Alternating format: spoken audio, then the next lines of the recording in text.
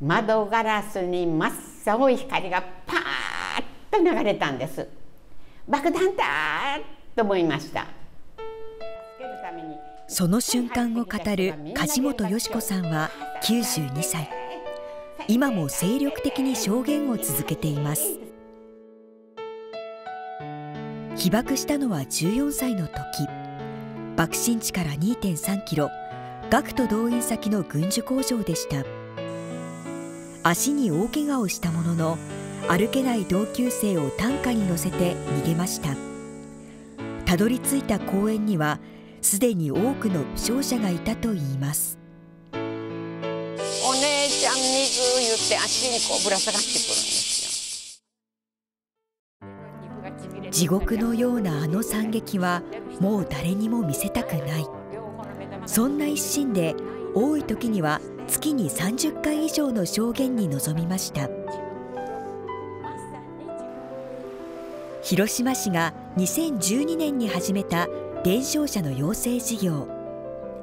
高齢になるなどした被爆者に代わりその体験を語ります。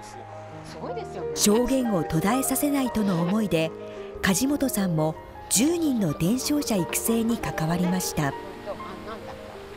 自分のが体験したことを話してくださってるんだけどなんかなんか人のことを映像を見てるように思えて最初はねできんよ伝承なんてできん人の思いは通じるわけないって反対してたんですが、はあ、やっぱりやってよかったなと思ってます。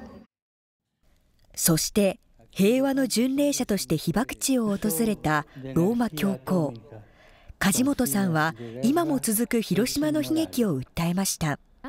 それは語り部としての総決算でもありました。この機会を得てもう一度核の再再確認原爆というのはどんなに怖いものかいことを再確認してほしいなと思います。90歳を超えた今もあの日の記憶を語り続ける梶本さん。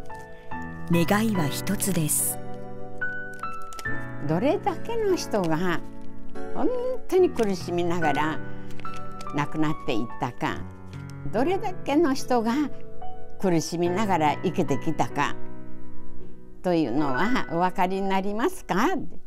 おばあちゃんひいばあちゃんの頃には核爆弾いうのがあったんだそうな今はないからいいねいうような時代になってほしいよねと思うんですよね。折り鶴に記した本気の文字。それは G7 首脳へのメッセージです。本当に体験した人のあの原爆の悲惨な状態を聞いてほしいなと思います。もうどうせ目の先にみんないなくなるんですからね被爆者は。やはり最後のチャンスだと思って本気で聞いてほしいし本気で考えてほしいしというのは私本気が入れたいんですね。核廃絶の道をもうこの G7 で示してほしいなと思います。